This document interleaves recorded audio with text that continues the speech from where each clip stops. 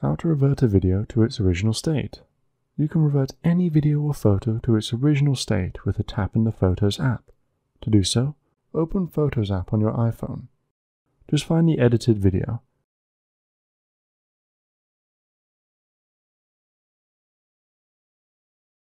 Tap Edit and then tap Revert. This works for both photos and videos. It reverts any trimming, filters, image adjustments, rotation, or cropping you applied.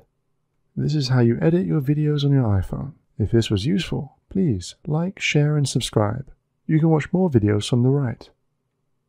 Also, if you have any questions, please ask them in the comments area below.